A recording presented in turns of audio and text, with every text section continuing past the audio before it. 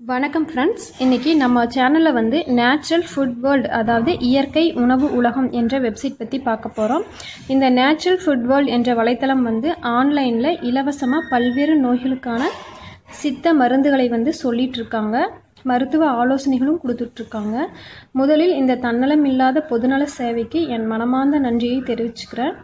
இந்த வீடியோவை கடைசி வரைக்கும் ஸ்கிப் பண்ணாமல் கட்டாய பாருங்கள் அப்போ தான் நான் என்ன சொல்ல வரேன்னு உங்களுக்கு வந்து தெளிவாக புரியும். அதாவது இந்த வெப்சைட் வந்து இலவச சித்த மருத்துவமனைனே வந்து நம்ம சொல்லலாம்.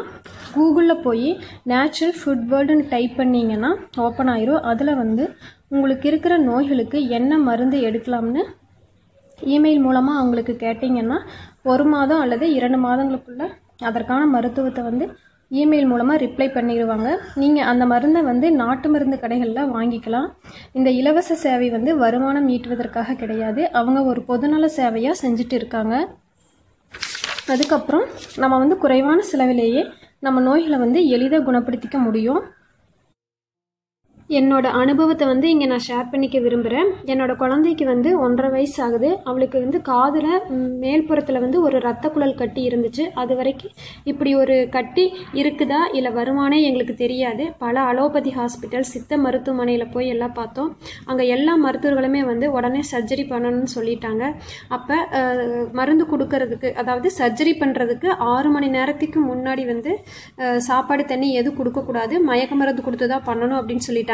ஆனால் அப்போ வந்து அதை தாங்குற வயது வந்து என்னோடய குழந்தைக்கு இல்லை. ரத்த குழல் கட்டி வந்து சப்போஸ் உடஞ்சதுன்னா அது வந்து ப்ளீடிங் நிற்காது கேர்ஃபுல்லாக பார்த்துக்கணும்னு சொல்லிட்டாங்க. அதுக்கப்புறம் என்ன பண்ணுறதுனே தெரியல. நெட்டில் போய் நிறைய தகவலை சர்ச் பண்ணி பார்க்குறப்ப எனக்கு இந்த வெப்சைட் கிடச்சிது. அதை ஓப்பன் பண்ணி பார்த்தேன். அப்போ வந்து அவங்க அவங்களோட நிறைய நோயாளிகள் வந்து தங்களோட மருந்து எடுத்துகிட்டு த நோய் குணமானதை பற்றின ஒரு அனுபவத்தை போட்டிருந்தாங்க. அதுக்கப்புறம் எனக்கும் ஒரு நம்பிக்கை வந்துச்சு. நான் வந்து என்னோட குழந்தைக்கு இருக்கிற பிரச்சனையை சொல்லி அவங்களுக்கு இமெயில் அனுப்புனேன். திருப்பி ரெண்டு மாதம் கழிச்சு அவங்க வந்து ரிப்ளை பண்ணாங்க. அதில் வந்து குழந்தையோட டீட்டெயில்ஸ் எல்லாம் கேட்டிருந்தாங்க. நானும் வந்து அதை அனுப்பிச்சி விட்டேன். திருப்பி ரெண்டு மாதம் கழிச்சு அவங்க வந்து ஒரு மருந்து வந்து சொல்லி அதை நாட்டு மருந்து கடையில் வாங்கி போட சொல்லியிருந்தாங்க. நானும் அதே மாதிரி ஒரு எட்டு மாதமாக போட்டேன். இப்போ கட்டி இருந்த இடமே தெரியாமல் போயிடுச்சு. இதே மருத்துவர்கள் வந்து இதுக்கு இருபதாயிரம் முப்பதாயிரம் செலவாகும்னு சொன்னாங்க. ஆனால் நான் இந்த கட்டிக்கு செலவு பண்ணினது வந்து வெறும் ஐம்பது ரூபாய் தான். இதிலிருந்தே வந்து நம்ம தெரிஞ்சுக்கலாம் சித்த மருத்துவத்தோட மகிமையை.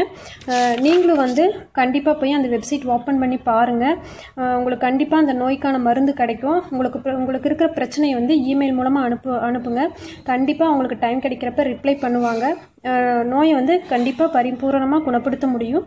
அதற்கான செலவும் வந்து ரொம்ப குறைவாகவே இருக்கும். இந்த வீடியோ இருக்கிற ஃபோட்டோ வந்து என்னோட குழந்தையோட ஃபோட்டோ தான். அவங்களோட இணையதளத்துக்கு போய் நான் என்னோட குழந்தைக்கு இருக்கிற பிரச்சனை சரியானதை தெரியப்படுத்துமாறு நான் கேட்டிருந்தேன். அவங்களும் என்னோட சம்மதத்தோட என்னோட குழந்தையோட ஃபோட்டோ போட்டு அவளுக்கு இருந்த பிரச்சனை சரியானது தெரிவிச்சிருந்தாங்க. எதுக்கு இதை வந்து உங்களுக்கு நான் சொல்கிறேன்னா உங்களுக்கு நம்பிக்கை வரணும் அப்படிங்கிறதுக்காக மட்டும்தான்.